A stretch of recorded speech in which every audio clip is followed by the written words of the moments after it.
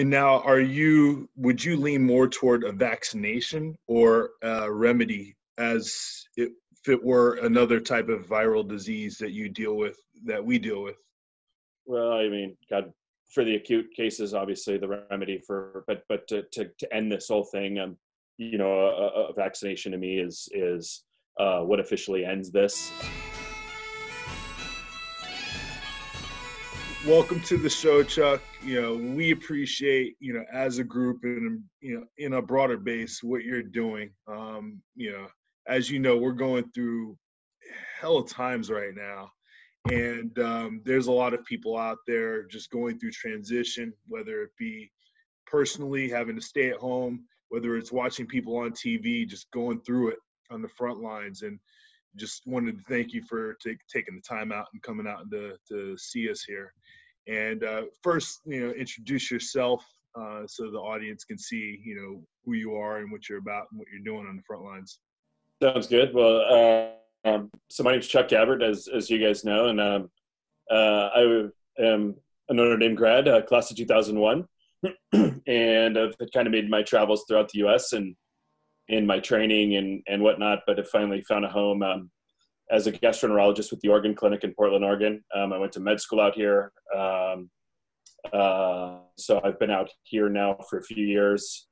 And um, I basically do a lot of endoscopy, um, especially for people, um, inpatient stuff. I do a lot of higher risk endoscopy. So I'm at one of the, the major uh, uh, tertiary referral centers in Portland that um, I end up kind of dealing with a lot of these patients. I think we're kind of one of the hospitals with maybe maybe the most patients currently or were in Oregon for some some time, but um, the university as well, um, obviously. But um, but yeah, so that's kind of my role. Is I'm an endoscopist, and uh, luckily, you know, my my exposure's been nothing compared to to you know some of the frontline people, ER physicians, ICU physicians, pulmonologists who are you know sitting there intubate anesthesiologists. People are intubating these people, and you know, coming in in clutch in such close proximity to droplets and whatnot that, you know, for me, I'm considering myself even blessed doing an endoscopy, you know, one foot away. So, um, uh, but that's kind of my role. I'm I'm honored to be a, a, part of this. I'm honored to be a part of the healthcare field right now. You know, it's a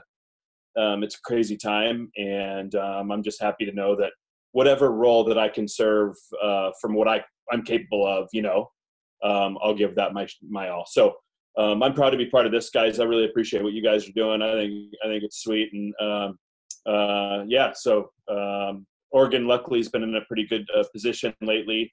Um, at least on the West Coast, kind of we've we've mirrored those that are, um, you know, Washington, California, where maybe our progress has been a little uh, better, or, or, I don't know, I don't know if that's the right word, our progress, but you know, our, our we've eased into it um, in comparison to Coast in some places. So uh, for it's been uh, you know, it's a gradual learning process, and and I, I just hope everyone stays safe and and we we do what we can to to kind of get through this.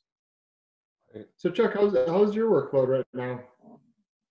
So our workload is is really diminished. We, um, you know, basically are only doing emergent uh, procedures or urgent procedures. That actually just started to open up. Governor Kate Brown opened up um, uh, May one, doing more elective and and non-urgent or more kind of semi-urgent uh, procedures. So so things will kind of pick up again. Um, I think in May, but but workload I think across the board for for people is um, you know, it's it's highly variable. Um, I know that some people in the urgent care ER settings that are just getting crushed, and and um, you know other people that that that can't find a patient to do, um, you know, can't can't find a patient to see. So um, yeah, I think it goes both ways right now. Something. Yeah, I heard a lot of people are kind of staying home and skipping that, um, uh, skipping procedures, and that there's going to kind of be a, I don't know, some some. Uh, I want to call it, I, I, guess, unintended consequences of, of closing stuff down that um, might not be good for people's health for other reasons. Yeah, you, you bring up a great point. There was a there was a recent little, I think it was an editorial in the New England Journal, um, just to that very point, um, saying that maybe in the end, um, you know, more people will get affected. The most people affected by this will be those with non-COVID related illnesses that you know are pushed off or or you know they don't get a biopsy early enough for some reason or or an intervention, you know, that would have otherwise been maybe yeah. taken place in a cath lab. Uh, that those patients may be the ones who suffer most, and and it'll be really interesting to see if that's true. I, I you know, we're rolling the dice right now with patients that we consider urgent or um, emergent. Um, well, we know emergent, but urgent or semi-urgent or maybe even elective. Um, we're rolling the dice on definitely, and and it feels a little uncomfortable at times. But I think you're right. I think there's gonna be a lot of patients where maybe in the end that delay is gonna gonna be impactful. You're being really humble about it, but also you got to think there's a lot of people that are just kind of out of fear choosing not to. They like ignoring totally. symptoms, right? And they and choosing to just to, to to hold out as long as they can to totally. you know, out of fear or whatever. So there's I think there's that factor too. Totally, and and I think that's that too is kind of well. There's a lot of factors, obviously, but virtual, you know, telemedicine now is huge. Um, one month ago, no one knew what we're doing right now, getting on Zoom, talking face to face in real time. You can tell me how you feel. Your stomach hurts. You can point it out. I can order a test for you. I don't have to see you. Um, now, granted, is it ideal? Uh, right now, it is maybe, but but um, in the future, I don't know. I mean, it's always nice to see someone in person and and and do an exam and and, and do that. But boy, right now, I mean, virtual telemedicine for that very reason. People don't want to be exposed to anything. They want to stay at home, but they have complaints and they have needs. So so that's that's been a huge thing now, and I think uh, I don't know that it'll go anywhere, but um, hopefully we can all figure out a way to make it work and blend with with different you know practice and and and how they run their practices and and whatnot. But right. And um, what what treatments have you seen that have transitioned you to? I mean, I hate to utilize the term flatten the curve, but you know, as you've seen things slow down in terms of the influx, what things have you guys done or seen that have been helpful? Shoot, man. I mean, I think uh, uh, the early action sheltering place that has probably been very impactful. Um, I, I, I, think it's mainly social stuff. Trev, I, I, I, medical management, as you know, is pretty. Uh, there isn't much right now other than supportive and, and, attempts at using some medicines that we hope might might help. But um, I think anything preventative you can do, but you know, stay six feet away from people and good hand hygiene. I mean, shoot, man, I wash my hands like 30 times a day now, and and uh, I, it's a little erratic, and and I never did that before, but I'll probably now forever. And um, uh, it's kind of a I think those th- those personal uh, things that you can do to to protect yourself and your family. That's that's probably what's flattening the curve most, and at least making it tolerable out here uh, for for our hospital. Tolerate it. Is the is the handshake dead? boy, boy, I'm I'm gonna I'm gonna throw an elbow or two out, or uh, you know, one of these, you know, I don't know.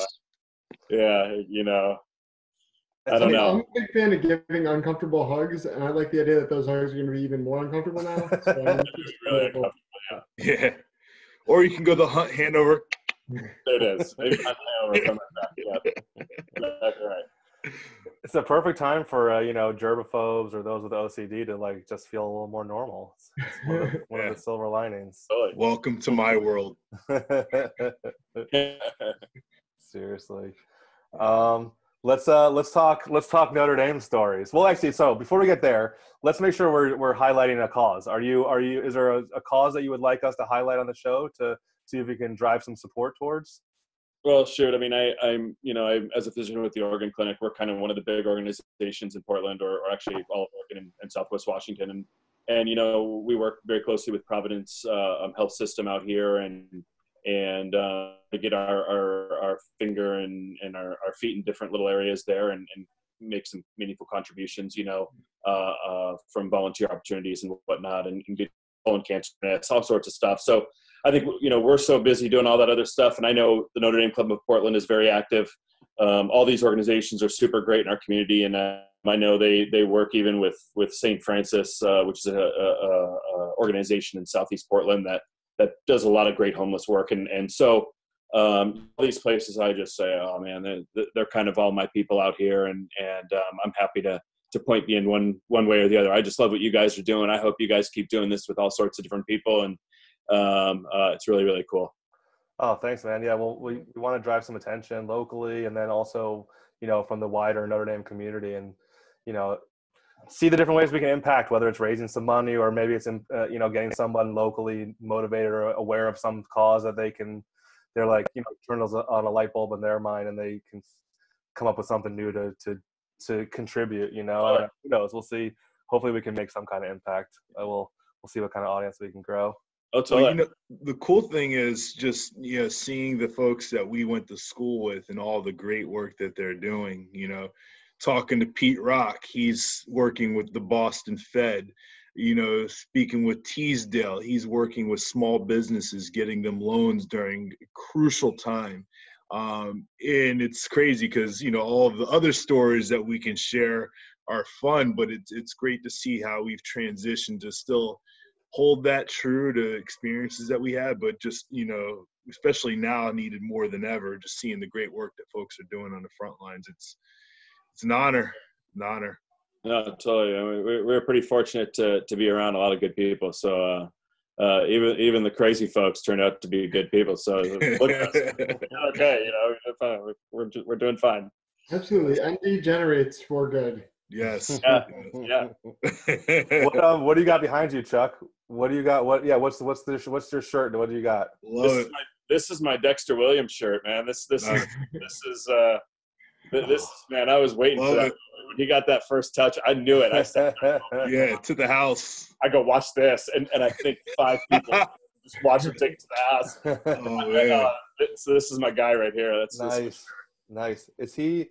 He's on the Ravens. Oh, the Packers. Right? The Packers. Packers. Packers. Yeah, that's right. That's Drafted right. fourth round, right? Third or fourth uh, round. Yeah, it might have been deeper than that, but I don't know. He, I don't know if he's played a lot, but but uh, whatever. He's, he's hanging in there though. Yeah, he's, he's getting on the. Hey, he's getting a roster check. Yeah, yeah, yeah he. Hopefully, we're getting one. I got, I got an old green Montana here.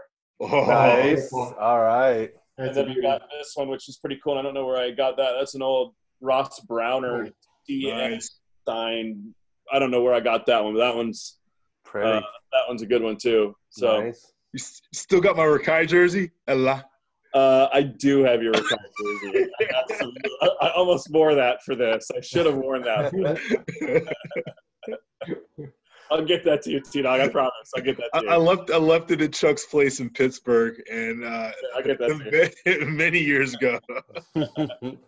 Finders keepers in that situation. You got to go back and pick it up the five year rule. It's been yeah. in my house for five years. It's technically mine.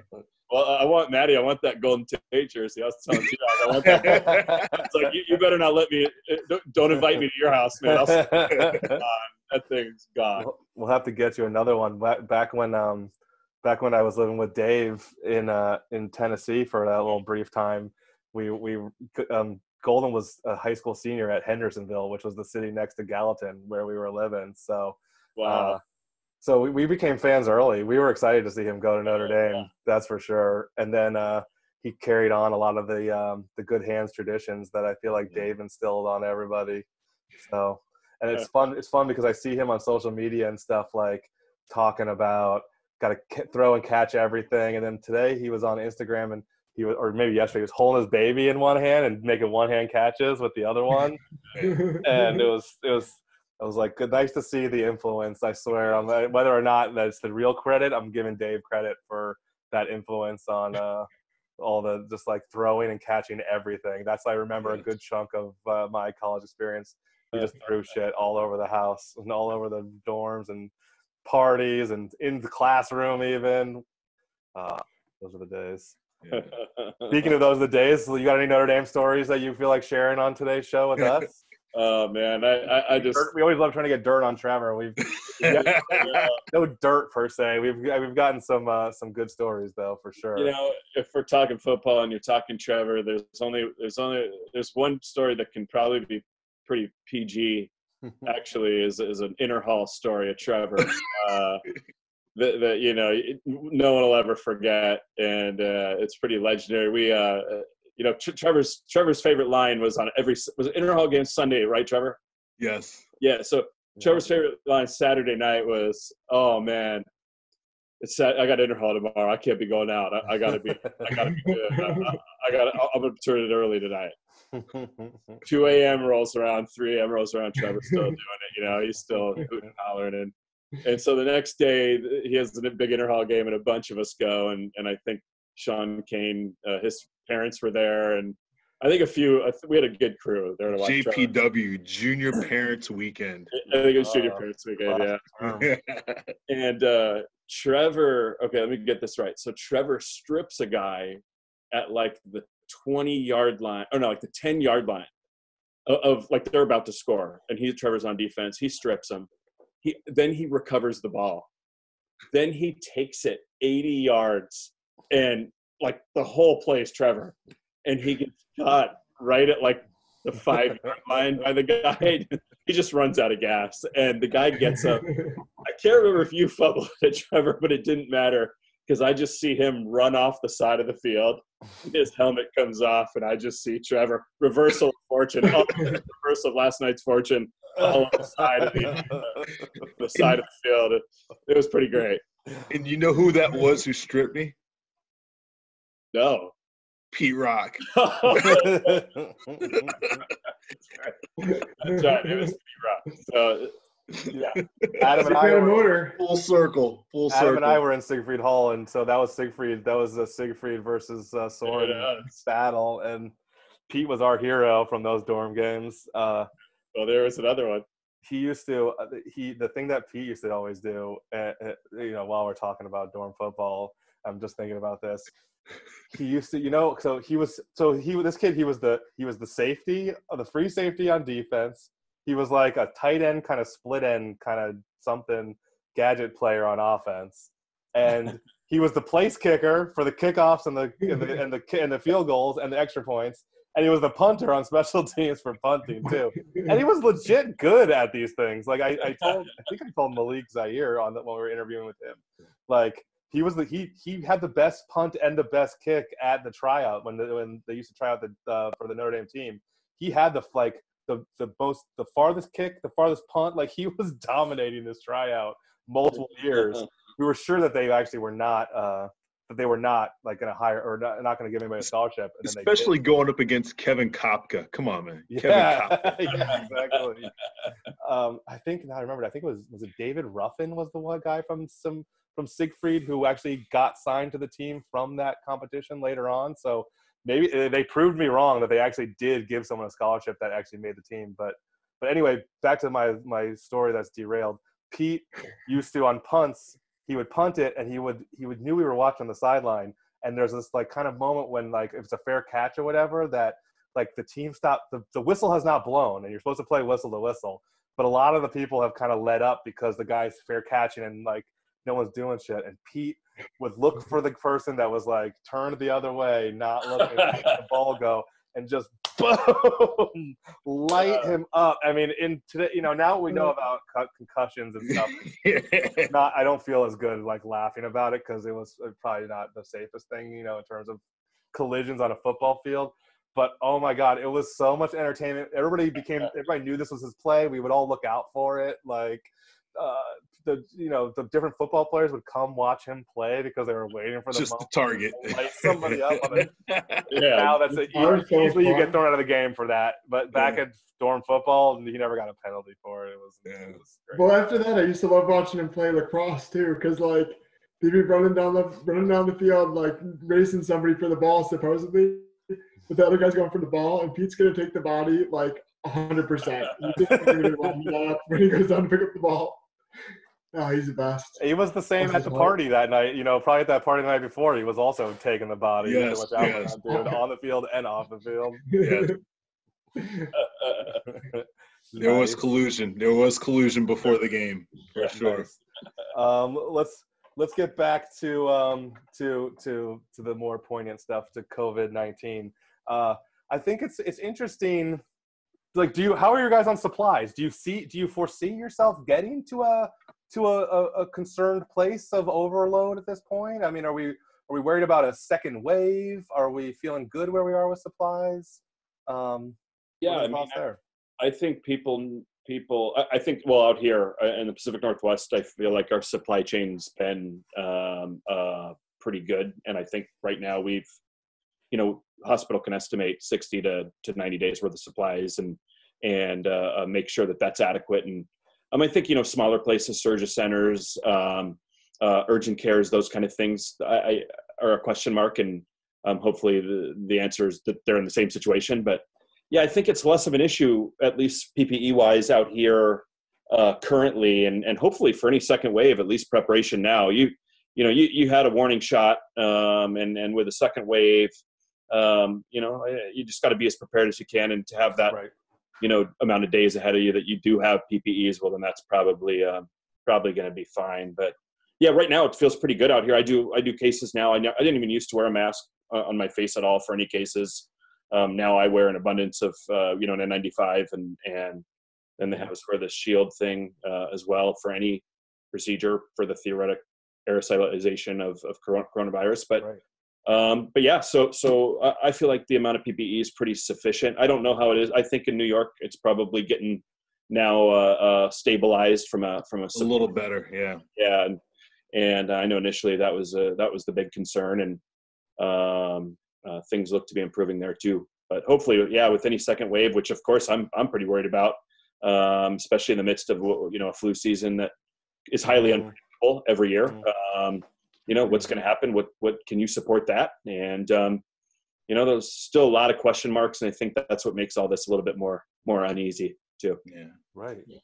right. Um and uh so what well i was going to say it's it's been not it's it's not it's not more than anecdotal i guess but hearing the hearing the the variation from us doing the show and talking to a couple different doctors and it, and not trying to like drive a certain narrative at all you know but knowing that a lot of the media we watch is trying to drive certain narratives it's been it's been refreshing to hear a variety of opinions and a variety of situations from from Dr. Hooley who was in New York and sounded like she was like in the epicenter yeah. and going through and, and a new a new doctor herself and and really being run through the ringer so to speak you know and having to reuse masks and find you know be creative and get around it to to like out here in California with we had talked to Dr. Burchett who like was kind of the calm before the storm moment a little bit, you know, where they were kind of like the the the the traffic had died down so much um, from the stuff we were talking about earlier about people,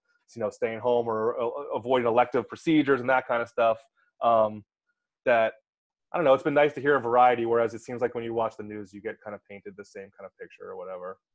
Totally. Yeah, it's real. Uh, everything you watch is super dismal, and I, you know, of course, I love to focus on New York, which, um, you know, that that situation was just, I think, so dramatically different than than the vast majority of places in America from, you know, a healthcare perspective, um, uh, you know, a, a density perspective, yes. uh, how do you get how do you get to work perspective, and and um, so yeah, I think it's just very different, and I don't know if it's you know completely 100% applicable to you know all other places, but yeah, it's we've certainly had a, a, a better experience if there is one um, in Oregon here, um, but that's again, you know, people have really done their part, and and and places are ghost town. I mean, it's it's uh, people are, have, have done their part. So, but I think now people are kind of anxious to see, you know, hey, what can we slowly do to to get back into into the swing of things and and uh, yeah, I think at that point now, that's probably the next discussion is how do we get how do we get that ball uh, uh, rolling effectively. Uh, I think that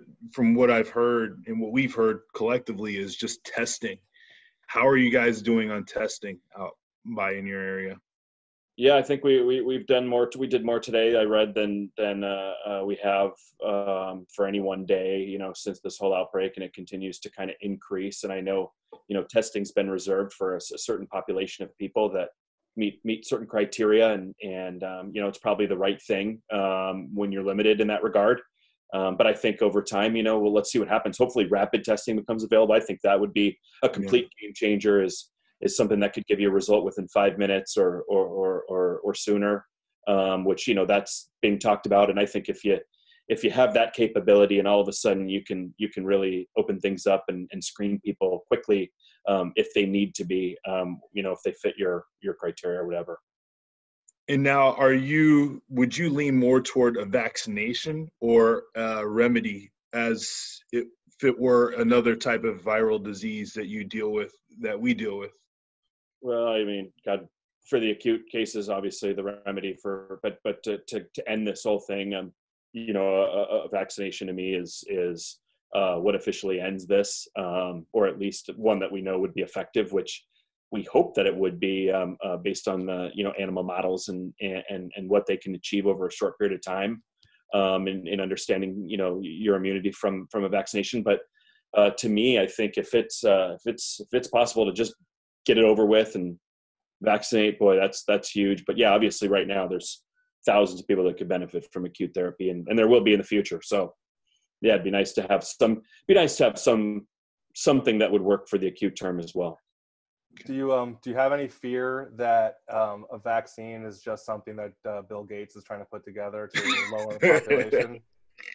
I don't know, man. But if he does it, but you know, I don't know. This, this that's one of my favorite conspiracy theories going around lately. Is that this is all part of Bill Gates' master plan to lower population? Seems like quite a convoluted way to go about doing that. Well, the thing is with Bill Gates, he's not even in health field. He's you know he's Microsoft. he's not a he's not a doctor. Not anymore. He's, stepped even, down officially from Microsoft. College. Yeah, he's he's he's he's more like um Rockefeller advisor, these right? days. Yeah, yeah. he's just trying to put his money where the where it's profitable. I think you're so back now. One thing I've been curious about is just uh, looks like from the statistics, a lot more men are dying from from coronavirus proportionally. Um, what, can you explain that at all? You know, I think uh, it, that's a tough one to explain, and, and certainly one that that I you know will be looked at. I know uh, you know as this goes on and on, and and I think that one area that's been is that men have more comorbidities in the area where COVID nineteen as a disease really starts to to get you. You know those of of uh, hypertension, heart disease, uh, diabetes, um, especially maybe those that are a little less under control or, or, or less optimized. I think we know kind of overall that uh, that you know women do probably a better job of taking care of themselves in most cases but uh, but no i think i think in, in a lot of the, the, the the studies too in asia where you know a lot of the, the men were smokers. I mean a lot of them were smokers. And and so um, i think you're seeing there that that there is a, a male you know predominance but i think due to the other stuff that they kind of carry with that those other comorbidities and smoking. But yeah i think it a you know time will tell if it's certainly a, a, a really preferential independent of those cofactors you know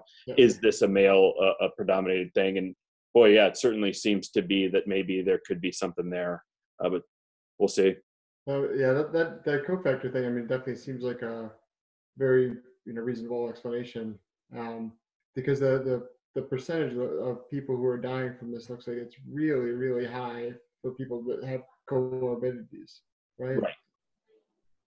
Right. Yep. The elderly with comorbidities and and and um, especially I think vascular stuff. It probably, you know, what what we're what I think people anecdotally are saying as well is kind of people on certain types of maybe medications or this uh, uh, um, a certain type of um, uh, uh, cellular protein that might be involved where um, uh, like an ACE inhibitor or, or, things like that that might affect a certain cascade of events where where maybe this disease is a lot more you know serious in those patients. And and um, yeah I think it's just so unknown now but but I, I, imagine by the second wave we'll have a much better idea if there is a second wave hopefully there isn't hopefully it just goes away uh, like SARS one um, which would be fantastic but um, um, at least hopefully we'll have a little more guidance for them for that for that to when that happens. But a little more prepared.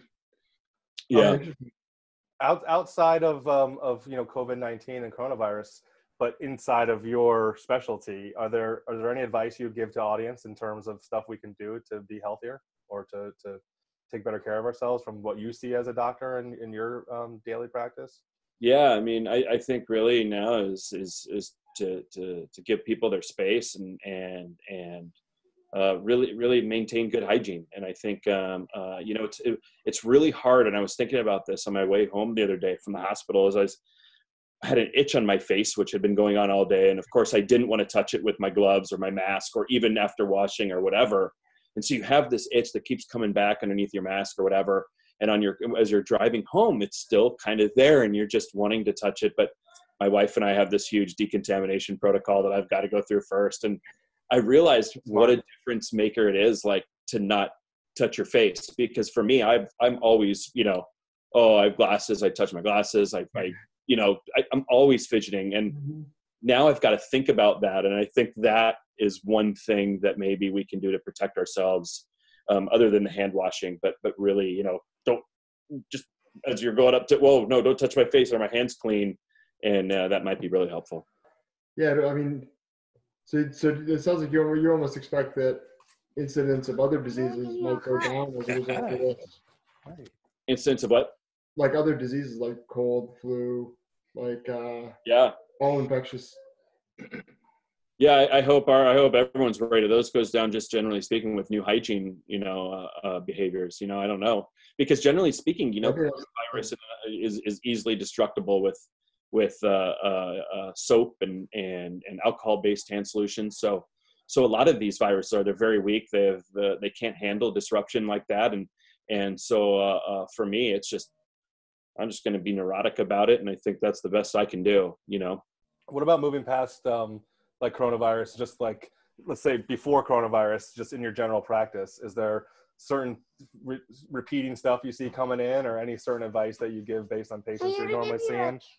Oh, give me a kiss. Mwah. Good night. I love you. Yeah, good night, buddy. Um, I guess I was just like kind of from a you know you're a doctor who sees all these patients, and Yeah. we're we're used to talking to people about coronavirus, and you know we've, we're hearing a lot of the, the different ways to protect ourselves. But you know out, outside of coronavirus, we still have all these different things that we're dealing with as a, uh, excuse me as a society Yeah. um, that affect our health and health in a lot of different ways. Yeah. Like I don't know if there's anything that like in your normal practice that you're seeing, or anything that you like in terms of diet or exercise, or if there's anything that like really stands out that you're seeing a lot of, or that you recommend that, to a lot of patients to do, or anything like that. Yeah, I, I, I, I mean, just to kind of reiterate what I do, I, I mainly do interventional gastroenterology. So I do a lot of what's called endoscopic ultrasound or ERCPs, so bile duct pancreas sampling, uh, you know, cyst drainages, um, uh, like big, big colon polyps that don't want to take off, and I'll, I'll, I'll give it a whirl before surgery is entertained. And um, so that's kind of what I do. I, I do see a lot of general gastroenterology patients. So you know the the you, you, your your normal folks that bloated and and in pain and nauseous, vomiting, loose stool, whatever. Right. Um, and I think we're trying to get better at using um, adjunct therapies rather than medical management for some of these patients with chronic GI symptoms, where you know you haven't really found anything that you know could benefit from an exact medicine that you know would take care of it. And so um, uh, you know, I think from an irritable bowel perspective, which we see a lot of those patients, everyone in gastroenterology does. Um, uh, I, uh, people are having heightened symptoms right now because anxiety certainly plays a role in the development of these symptoms and whatnot. But Right. I think learning about different diets, being in Portland, Oregon, is a really progressive place to do that. Um, you know, acupuncture, all sorts of different things that that might be a benefit for these patients. So for me, I'm learning about all that. I think it's super cool. Um, I was previously at the University of Arizona before here at Banner Health and, and, and University in Phoenix, and then prior to that in, in, in Pittsburgh at UPMC. And so um, I, I haven't got you know I didn't get to see the the kind of the, the Oregon approach towards towards medicine, which is a little a little different than than most. But Right.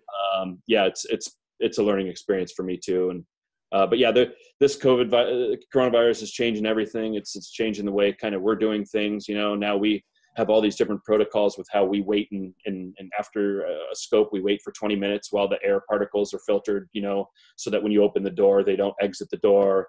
Um, it- it's a big difference. And virtual telemed, like I said, telemedicine. It's just a a crazy time, and and um, uh, we'll see how much of this lasts and and, and how much of it's um, hopefully we can get return to normal you know to some degree Now, my, my approach has been to keep the virus and other things away to like alternate between brown liquor one night and then clear liquor the next night. And uh, but that might not be good for my tummy in some ways. Um, what do you think? yeah and, and definitely don't inhale that in your lungs you definitely don't want to have it Don't inject it either. Yeah, No, no injection. I, I prefer the Lysol. Yeah exactly I've Yeah. been trying to find a way to get that UV light inside of me, as was recommended recently.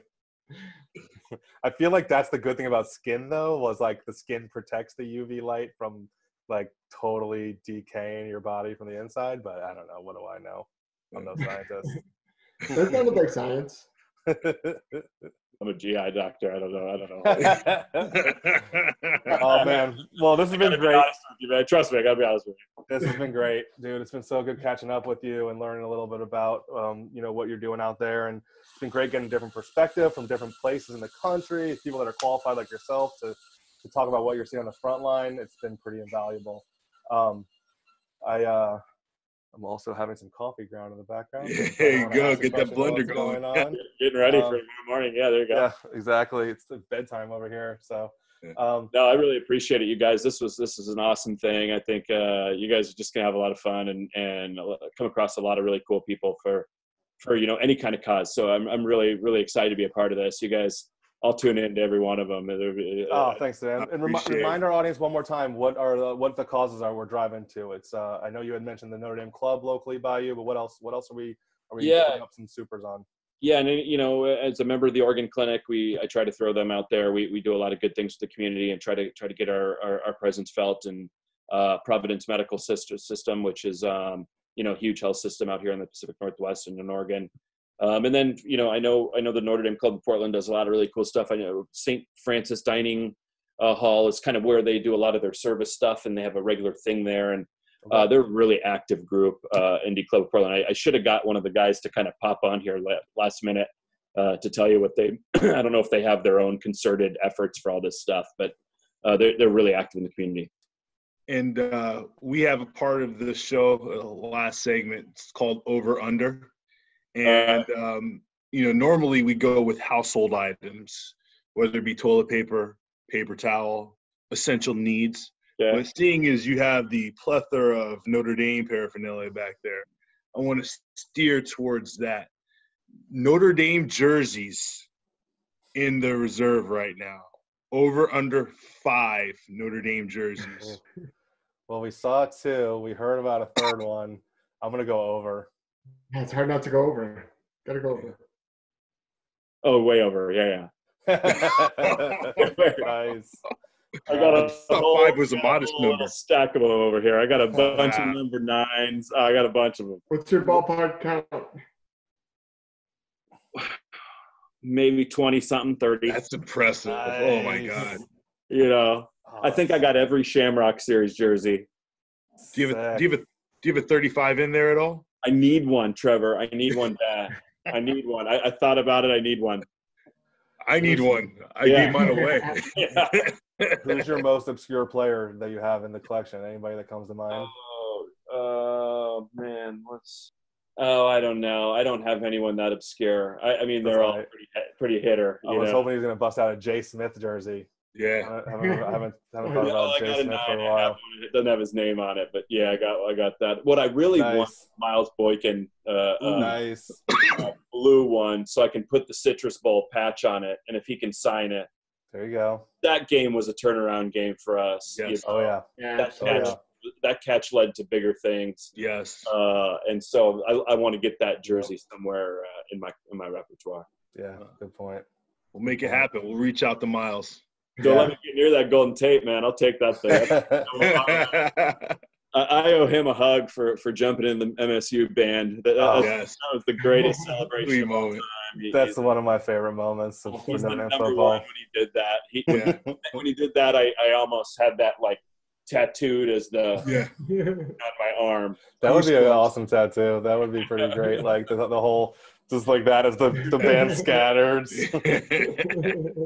Yep.